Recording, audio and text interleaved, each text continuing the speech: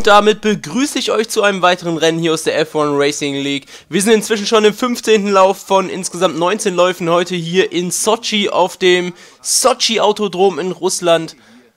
Und bevor ich es vergesse zu sagen, wollte ich mich noch einmal dafür bedanken, dass wirklich so viele Leute beim äh, letzten Rennen in Suzuka dabei waren und auch wirklich sehr gutes Feedback dagelassen haben. Das ist auf jeden Fall immer eine sehr, sehr gute Rückmeldung, wenn Leute sich wirklich einbringen und über ja, den einen oder anderen Vorfall, den Crash oder irgendeine andere Sache diskutieren. Und ähm, ja, da merkt man auch, dass sich Leute für die ganze Sache hier interessieren. Und davon abgesehen, 15 Likes, das ist ähm, ja für meine Verhältnisse doch schon sehr viel und das hat mich auch super gefreut. Also Lange Rede, kurzer Sinn. Ähm, ich bedanke mich für die Leute, die hier regelmäßig zuschauen und auch immer auf Daumen nach oben drücken, denn das ist wirklich die beste Rückmeldung, die ihr mir eigentlich geben könnt. Und ähm, ja, so sehe ich auch, dass das hier alles auch einen Sinn hat. Ja, und wie am Anfang eines jeden Rennwochenendes sind wir natürlich direkt wieder auf meiner Qualifying-Runde. Wir sind jetzt hier schon im zweiten Sektor von dem Sochi Autodrom, was mir persönlich optisch überhaupt nicht gefällt und auch fahrerisch ist es jetzt nicht so ja, ich sag mal, der Geniestreich von Hermann Thielke, dem äh, Star-Architekten, wie sie ihn immer, immer nennen, äh, Star-Streckenarchitekt, Mann, ist das ein Zungenbrecher. Ähm, also im, mit dem Sochi-Autodrom hat er sich wirklich keinen großen Gefallen getan, würde ich jetzt einfach mal so behaupten. Und ähm, ich denke, die einen oder anderen sehen das auch so, dass so eine Strecke wie zum Beispiel Yeongam oder vielleicht auch einfach der große Preis von Deutschland wirklich viel besser ankommen würden bei den Fahrern und auch bei den Zuschauern. Denn hier so eine random Sochi-Strecke ist wirklich nicht so der Burner, um das mal vorsichtig auszudrücken. Ja, wir sind jetzt hier mit unserer ersten Qualifying-Runde eine 1.34.8 gefahren und das ist wirklich schon mal eine richtige Hausnummer und die Runde, die war auch wirklich äh, ja sehr zufriedenstellend. Also ich habe da jetzt keine Stelle gesehen, da wo ich mir durch irgendeine Sache einen riesigen Vorteil verschafft habe oder ich habe auch keine Kurve gecuttet. Also das war wirklich eine saubere Runde, würde ich einfach mal sagen. Die Runde von Monkey Faceplace, die sehen wir jetzt hier in der Ultra High Speed Aufnahme, denn äh, ja, im Rennen ist doch einiges passiert und das war mir dann auch wichtiger hier in das Video reinzupacken, als jetzt hier nochmal eine schnelle Runde von Monkey Faceplace, die auch nicht ganz für die Pole Position gereicht hat. Wir sehen auf P3 Mattel oder Matti, ich nenne ihn immer Matti, Leute ne sagen zu mir, dass er Mattel heißt. Für mich ist das der Matti, weil Mattel, weiß nicht, das ist irgendwie, das hört sich so komisch an. Das ist für mich der Matti. Und dieser Matti, der ist auf jeden Fall neu jetzt dieses Wochenende dabei. Äh, auch ein sehr guter Fahrer, Ex-TSR-Fahrer, genauso wie Hu äh, Hupsi und Weedy. Aber ich glaube, der Matti, der äh, hat doch schon die ein oder anderen ähm, Ausrufezeichen gesetzt in der Vergangenheit und es wird spannend zu sehen sein, wo sich dieser Mensch hier in der Liga etablieren wird. Ja, wie die Ampel schaltet auf Rot, der große Preis von Sochi wird in wenigen Augenblicken beginnen und es geht los. Letztes Mal hatten wir einen recht schlechten Start durch die Synchronisationsprobleme und wir sehen, heute scheint es Monkey Faceplace getroffen zu haben. Monkey Faceplace wirklich einen richtig schlechten Start, wird direkt von Senna Babylon und Matti äh, kassiert und wir schauen uns die ganze Sache hier noch aus der Sicht von Monkey Faceplace an und ja, also ich weiß, ich weiß gar nicht, ob das ein Synchronisationsproblem war, denn ähm, meiner Meinung nach sind er und ich eigentlich recht gleichzeitig gestartet, nur Monkey Faceplace ist da einfach beschissen weggekommen. Aber ich will da den Mund nicht zu voll nehmen, äh, ich kann es jetzt nicht genau sagen, entweder es war wieder ein Synchronisationsproblem, das aber nach dem zweiten Patch von Codemasters jetzt behoben worden sein sollte oder es war wirklich ein super schlechter Start, aber das weiß ich jetzt nicht ganz genau. Wir schauen uns die Sache hier nochmal aus der Sicht vom Dangerman 74 an, wie wir sehen, ja, Monkey Faceplay wirklich super schlechten Start und Senna Babylon hinter Arctic Avenger 2 vor Matti und vor Monkey Faceplays. Dangerman bleibt dann auf der 5, Captain Killer auf der 6 und ähm, ja, das Rennen geht jetzt richtig los hier. Hab zwischenzeitlich aus Interesse mal geschaut, was die Konkurrenz hier so tut, um, ja, um sich auf dieses Rennen vorzubereiten. Und da sieht man natürlich immer wieder, dass so Kandidaten wie zum Beispiel der Monkey Faceface oder der Senna Babylon ähm, gern mal, gerne mal Zeitfahren spielen, um da die eine oder andere schnelle Runde zu setzen. Und ich habe da schon gesehen, ähm, mit denen ist hier heute auch nicht gut Kirschen essen, denn die haben wirklich eine sehr gute Grundspeed und vor allem auch im Zeitfahren recht gute Zeiten gesetzt. Und äh, ja, ich denke, das wird hier heute ein richtig hartes Stück Arbeit. Wir sehen hier am Ende von, am Ende von Runde 1, Mann, Mann, Mann. Ist der Senna Babylon wirklich direkt in Schlagdistanz und wir tun uns hier richtig schwer auf den ersten paar Metern. Ich weiß auch nicht, was da los war. Kommen hier an jeder möglichen Stelle ein bisschen zu weit raus und verlieren dann natürlich wieder ein bisschen ja, Beschleunigung und dann am Ende auch Topspeed für so lange Geraden, wie zum Beispiel hier der Geraden, der DRS-Geraden nach der Start- und Ziellinie. Und wir sehen, Senna Babylon hat überhaupt keine Probleme hier an uns vorbeizuziehen. Wir fahren zusammen durch die erste Kurve und ja, Senna Babylon schneidet da die Kurve rechts, aber das war okay, denn sonst wäre es unter Umständen zu einer Berührung gekommen und ähm, ja, sonst können die beiden Fahrer hier nicht durch die erste Kurve durchfahren, würde ich einfach mal sagen. Ja, jetzt heißt es auf jeden Fall, dranbleiben am Senna Barbara, um vielleicht hier gleich im Windschatten nochmal ranzukommen, aber das äh, wird sich noch herausstellen, ob das so leicht klappen wird. Hinter uns immer noch der Matti, dahinter müsste dann auch der Monkey Faceplate sein. Und ähm, ja, wir müssen schauen, dass wir jetzt hier dranbleiben, um dann vielleicht gleich nochmal zum Konter ansetzen zu können. Aber wir sehen, wir haben hier wirklich an den einen oder anderen Stellen doch ordentliche Probleme, das Auto recht gut auf Kurs zu halten. Sie werden da sogar unter Druck gesetzt vom Matti hinter uns. Springen wir mal zum Monkey Faceplace hier aus der Verfolgerrolle und das, ja, diese vier Leute hier ganz vorne sind wirklich sehr eng beieinander. Das schreit nach einem sehr spannenden, ja, Rennen, würde ich einfach mal sagen, denn, ähm, ja, vier Fahrer in recht gleicher Speed. Also wie ihr seht, Matti kann auch super mithalten. Ähm, der ist wirklich sehr gut unterwegs. Hier ist ein kleiner Sprung zu Runde 4 von 27. Wir sehen Matti immer noch direkt hinter uns. Senna Babylon konnte sich jetzt schon ordentlich absetzen. Der Abstand jetzt schon bei über 2 Sekunden. Also, ähm, ja, da sieht man Senna Babylon wirklich eine sehr gute Pace hier gehabt. Während des Rennens auch. Und äh, das zeichnet sich jetzt hier schon in den ersten vier Runden ab. Ja, und TSR, nein, nicht TSR Matti, das war ja Ex-TSR Matti. Matti wirklich mit sehr guter Pace hier, setzt uns richtig unter Druck. Hier am Ende von Runde 4. Und wir sehen, was mit dem Monkey Faceplace passiert ist. Und ja, wir sehen es. Monkey Faceplace küsst die Wand, also äh, beschädigt sich da den Frontflügel. Und das ist wirklich ganz schlecht. Wirft ihn erstmal aus diesem Vierkampf raus, vorerst zumindest. Denn ähm, ja, mit einem angeschlagenen Frontflügel hier in F1 2015, das ist wirklich... Das ist jetzt nicht so das Wahre, sag ich mal. Und ähm, ja, gut für mich eigentlich, denn, ähm, was ist das denn hier? Unerlaubtes Überholmanöver gegen TSR Matti. Ach, warum sage ich immer TSR Matti? Das ist einfach der Matti. Ähm, unerlaubtes Überholmanöver gegen Matti äh, habe ich jetzt eigentlich nicht so gesehen, denn ich wüsste nicht, wo ich ihn an dieser Stelle überholt haben sollte. Aber äh, um da der Strafe vorzubeugen, habe ich ihn dann vorbeigelassen. Ähm, ja, was wollte ich sagen? Monkey Face ist jetzt erstmal hier aus dem Vierkampf mehr oder weniger raus. Aber wir werden sehen, ob sich Monkey Facebase dann nach seinem ersten Boxenstopp davon äh, erholen wird. Die ersten Boxenstops stehen jetzt gleich eigentlich schon an und ja, in Runde 5 von 27 habe ich schon gemerkt, die Reifen bauen jetzt allmählich schon ab. Und ich habe mir gedacht, ja, der Senna Babylon, der ist jetzt eigentlich schon so weit weg, gegen den fährst du eigentlich kein direktes Rennen mehr, sag ich mal. Das ist nicht dein direkter Konkurrent. Mein direkter Konkurrent ist jetzt hier in erster Linie der Matti und der Monkey Facebase logischerweise, der jetzt natürlich durch seinen kleinen Fahrfehler erstmal ähm, ja, ins Hintertreffen geraten ist, sag ich mal. Aber ähm, ich habe mir gedacht, wenn ich jetzt vielleicht einen Undercut starten würde oder einen Undercut wagen würde, dann hätte ich wirklich sehr gute Chancen, hier den Matti langs langfristig wirklich ja auszutaktieren, sag ich mal, und die Position von ihm zu äh, bekommen. Und genau das wird jetzt auch getan. Am Ende von Runde 5 gehe ich an die Box, hole mir nochmal frische, weiche Reifen, um jetzt hier unter Umständen ein oder zwei Runden mit den frischen Reifen wirklich richtig Boden gut zu machen gegenüber dem Matti. Denn äh, standardmäßig geht man hier so in Runde 7, Runde 8 an die Box. Und ich glaube sogar der Matti ist hier in Runde 8 sogar an die Box gegangen. Und ähm, ja, bevor wir darüber zu sprechen kommen, Jetzt erst nochmal aus der Sicht vom Dangerman 74 hinter Monkey Facebass ist momentan auf der 4 und wir sehen Monkey Facebass mit seinem halb lidierten Frontflügel hat richtige Probleme hier auch halbwegs auf der Strecke zu bleiben. Und ähm, ja, wir sehen auch Dangerman kommt hier richtig gut ran, also daran sieht man, äh, Monkey Facebass scheint wirklich richtig zu kämpfen haben mit diesem, ja, halb zerstörten Frontflügel. Ja, und wie sich das jetzt hier abzeichnet, wird Dangerman jetzt hier auf der DRS-Geraden kalt wie er ist, kalt wie eine Hundeschnauze ist der Typ, wird jetzt hier zum Überholmanöver ansetzen. Und ähm, ja, Monkey Facebase macht auch keine Anstalten, sich groß zu verteidigen. Wir sehen rechts auf der Schadensanzeige vorne links orange, das bedeutet, da fehlt ein Teil. Und das wirkt sich natürlich brutal auf den, ja, auf das Grip-Niveau aus. Und ähm, ja, die Hundeschnauze hat zugeschlagen, Dangerman hat Monkey Facebase kassiert.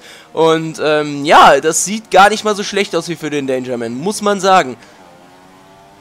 Ja, haben jetzt gerade mal ein knappes Viertel des Rennens absolviert, Runde 6 von 27. Und wir haben gesehen, Monkey Facebase ist jetzt auch an die Box gekommen, also quasi eine Runde später als wir.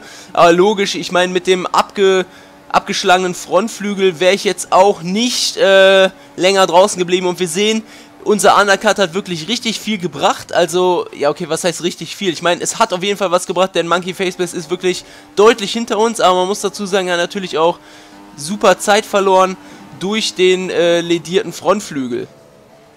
Jetzt hier in Runde 7, eine Runde, oder nein, in der Runde, als äh, Monkey Face bis in die Box gekommen ist, oder beziehungsweise aus der Box ist rausgefahren ist. Ach du meine Güte, was ist das denn? Senna Tedisov lässt überhaupt keinen Platz.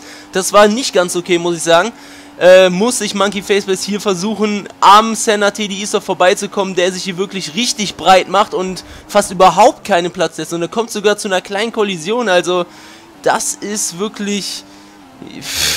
Also das ist wirklich alles andere als äh, korrekt, sag ich mal. Ähm, so macht man es normalerweise nicht. Ja, wir jetzt hier mit den frischen Reifen müssen am Weedy Gonzales vorbei, der immer noch auf den alten Schluppen rumgurkt. Und ja, wir werden da ein bisschen aufgehalten, aber damit muss man rechnen, wenn jemand mit so äh, abgenutzten Reifen unterwegs ist. Weedy Gonzales jetzt auch an der Box.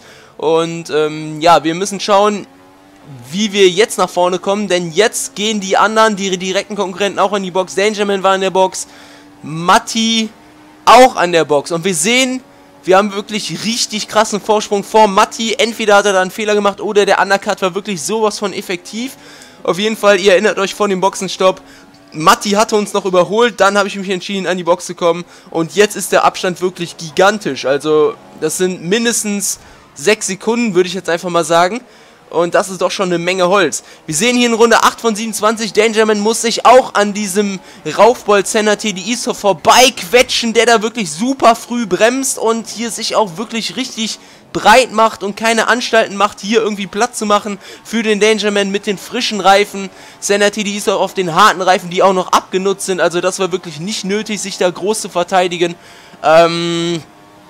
Ja, also sowas darf in Zukunft auf jeden Fall nicht mehr vorkommen, denn ähm, das ist wirklich alles andere als fair, sag ich mal. Denn ich meine, es ist okay, wenn man sich auf einem, auf einem gewissen Level, sag ich mal, ja, angemessen verteidigt, aber man braucht jetzt auch nicht äh, quer vor die Karre zu fahren und äh, die Kurven zu schneiden mit einem deutlich unterlegenen Auto, mit deutlich unterlegenen Reifen, abgenutzten Reifen. Das macht jetzt wirklich nicht so viel Sinn. Ja, wir sind in Runde 10 von 27, haben jetzt knapp äh, das Drittel des Rennens überschritten, sind äh, immer noch auf P2 von 11. Senna Babylon immer noch auf der 1, ihr seht unten links, äh, Senna Babylon doch schon einen deutlichen Vorsprung, also gegen den Senna Babylon hat das wirklich, hat der Undercut wirklich nicht so viel gebracht, was mich eigentlich wundert, denn äh, ja, eigentlich hätte man da ja aufholen müssen, aber scheint irgendwie nicht so gewesen zu sein. Man muss dazu sagen, dass Senna Babylon während des Rennens wirklich auch äh, ja, abartige Zeiten gefahren ist. Also das war schon eine recht gute Pace. Wir schauen uns jetzt hier an, wie der Monkey Facebase am Mattel oder Matti vorbeikommen wird. Er ist im DRS und will sich hier die zweite Position zurückholen, nachdem wir das zweite Mal an die Box gekommen sind. Die beiden jetzt logischerweise auf P2 und 3 und das sieht hier nach einem recht guten Duell aus zwischen den beiden. Hier nochmal die Boxen-Stopp-Wiederholung von uns hier. Noch ein drittes Mal auf die weichen Reifen.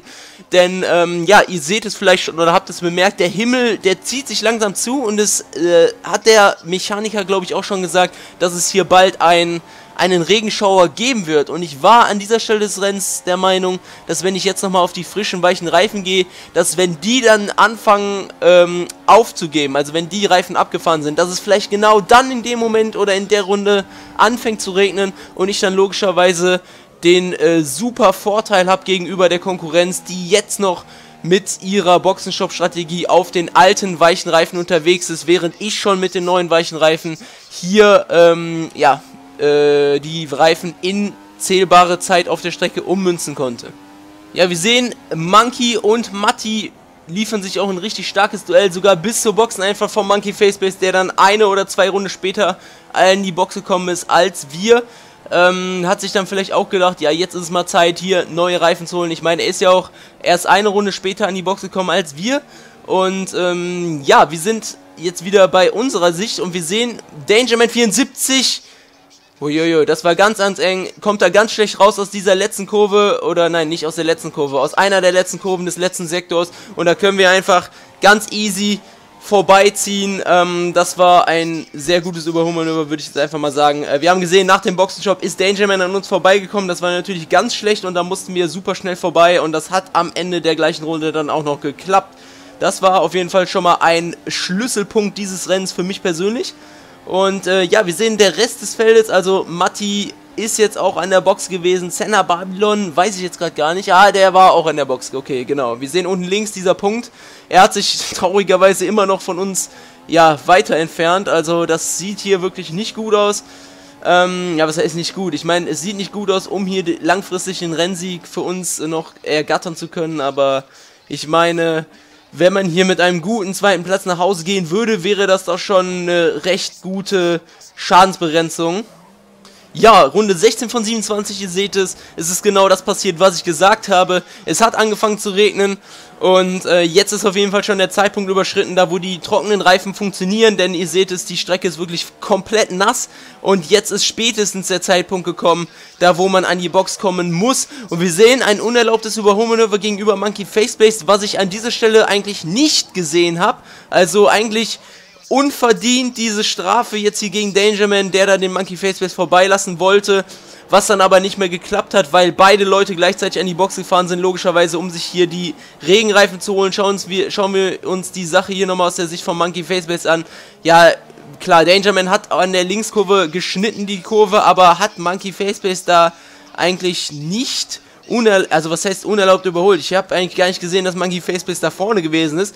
Ähm, wie dem auch sei, auf jeden Fall, die Strafe wird am Ende des Rennens abgezogen. Das ist jetzt auch keine, keine Sache da, wo jetzt wirklich die Stewards gesagt haben, ja, das ist jetzt ein Vergehen, was bestraft werden muss. Also die äh, 10 Sekunden Strafe, die wird am Ende definitiv wieder abgezogen. Und das war an der Stelle des Rennens absolut keine Absicht. Und ähm, ja, wir sind in Runde 16 von 27, sind auch noch auf den weichen Reifen. Also es ist jetzt hier quasi ein Flashback von Runde 16 da wo diese beiden Kampfhähne eben an die Box gekommen sind. Wir sehen jetzt hier nochmal einen kleinen Ausschnitt davon, wie wir uns jetzt hier schlagen. Und wir sehen, äh, wir haben auch richtige Probleme, hier das Auto auf der Strecke zu halten. Und wir sehen auch oben, das DRS wurde jetzt deaktiviert, also bedeutet es jetzt wirklich äh, Regenwetter und Intermediate-Zeit oder sogar Heavyweight-Zeit, aber so wie es jetzt momentan aussieht, würde ich eher zu den, ach du, oi, oi, oi, das ist wirklich hier ein Tanz auf Eiern, hier mit den äh, abgenutzten äh, Slickreifen im Regen rumzugurken, das ist wirklich schrecklich. Ähm, ja, wir holen uns jetzt hier die Intermediate-Reifen. Ja, und hier sehen wir nochmal, wie Monkey Face sich die Intermediate-Reifen geholt hat. In, am, nein, am Ende von Runde 16. Und genau dann haben wir uns auch die Intermediate-Reifen geholt. Also, wir sehen es, wir sind jetzt auch auf den Intermediate-Reifen. Und ähm, wir springen jetzt eine Runde nach vorne, denn es hat sich in der Zwischenzeit wettertechnisch doch was getan. Und zwar ist es noch stärker am Regnen jetzt. Ihr seht es, die Intermediate-Reifen, die scheinen die Menge an Wasser nicht mehr bewältigen zu können. Ähm, und das bedeutet nichts anderes, als dass die Intermediate-Reifen jetzt auch nicht mehr geeignet sind für diese Bedingungen. Und äh, ja, dann... Ah, ja, ich habe gerade gesagt, die Intermediate-Reifen sind nicht mehr geeignet für diese Bedingungen und das gilt natürlich auch für die Traktion, denn wirklich zu diesem Zeitpunkt des Rennens war es wirklich sowas von schwierig, das Auto auf Kurs zu halten und vor allem die Traktion halbwegs hinzukriegen. Ihr habt es gesehen, ich habe das Auto, das Heck verloren, habe mir da auch den Frontflügel angeschlagen und ja, im Regen mit einem Front, äh, angeschlagenen Frontflügel ist es noch fünfmal schlimmer als im Trocknen einen ange angeschlagenen Frontflügel zu haben. Also, jetzt ist es dann wieder an der Zeit, hier in die Box zu kommen und sich die Heavyweights zu holen. Ihr seht es, die Heavyweights mit dem starken Profil. Und äh, ja, das hat auf jeden Fall dann nochmal ordentlich Zeit gekostet, hier diese Runde mit dem abge abgeschlagenen Frontflügel äh, bis zur Boxengasse zu fahren. Ihr habt gesehen, ich bin kaum um Kurven gekommen und äh, ja, das bedeutet nichts anderes, als dass der Monkey Facebase davon profitiert, denn der Monkey Facebase war jetzt auch schon wieder an der Box und hat sich auch die Heavyweights geholt und ist jetzt unten links auf der Karte wirklich schon direkt dran. Und wir sehen es jetzt hier aus der Sicht von Monkey Faceplace, wie wir da wirklich richtig zu kämpfen haben, das Auto auf der Strecke zu halten. Ja, und das sieht so aus, als ob der Monkey Faceplace hier uns jetzt gleich attackieren wird auf dieser langen DRS-Geraden, wobei es ja im Regen gar kein DRS gibt, aber den Angriff verkneift er sich dann nochmal. Ich meine, das wäre jetzt auch ein bisschen gefährlich gewesen, denn so nah war er jetzt auch noch nicht dran. Aber das sieht hier wirklich richtig danach aus, als ob der Monkey Faceplace hier jetzt vielleicht zum Angriff ansetzen wird. Wir verbremsen uns jetzt hier nochmal und kommen hier jetzt nochmal richtig beschissen um die Kurve und wir sehen, Monkey Faceplace kommt einfach viel besser um die Kurve und überholt uns da recht, ja recht leicht, so wie wir eigentlich den Dangerman eben auch überholt haben.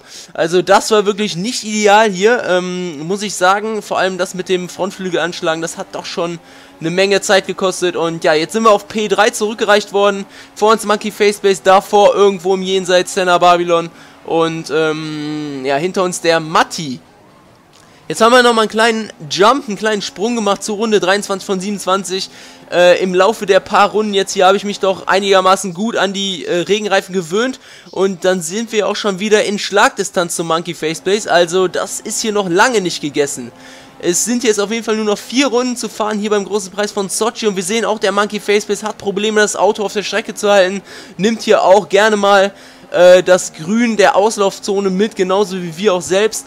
Und ähm, ja, das kann man keinem verübeln, denn ich meine, bei diesen Bedingungen, wenn man wirklich am Kämpfen ist, ist es wirklich richtig schwierig hier zu fahren wie eine 1. Vor allem, wenn man einen 1-1 Flügel hat, so wie Monkey Faceplace und ich.